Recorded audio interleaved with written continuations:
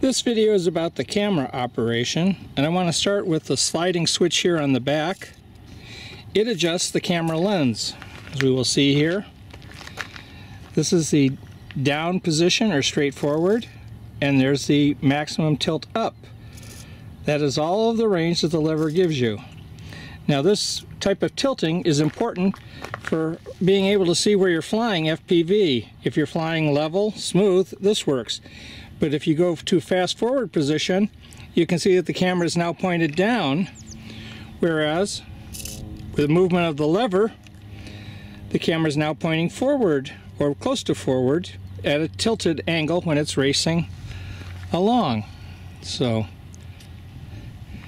this camera tilt is primarily aimed so that you can see where the quadcopter is going, the X230. It is not particularly helpful in taking pictures because it's only going to be pointing, the, the closest you have to a down position is pointing forward in a level hover. However, if you're flying forward tilted, it will give you more of a ground view, eh, just as it will with an aerial view. Now as for seeing images, FPV from the camera, we have plugs here on the top.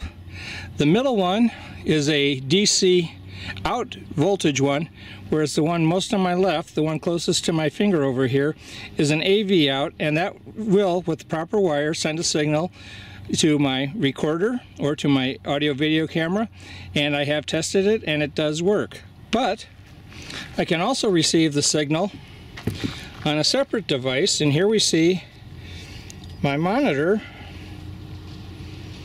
and you can see the image on the monitor that is sent by the camera. But I want to point out something, so let me move the monitor over to where it can be seen along with me moving something in front of the camera.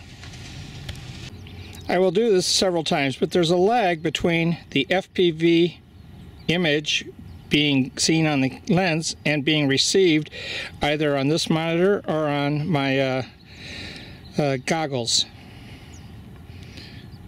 Notice the finger move up here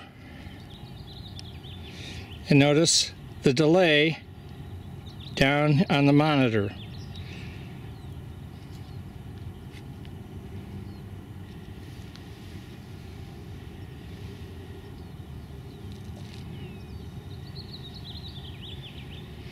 It's not a huge delay, but if I were racing indoors, it could be a very significant delay in regards to uh, causing problems in coordinating my, mo my motions with the uh, surroundings, like going through a window or a door. Out in an open field, it's no problem whatsoever. No, the delay wouldn't be significant. You'd be able to fly, I've been able to fly around and control it. And my flying with it has all been outdoors.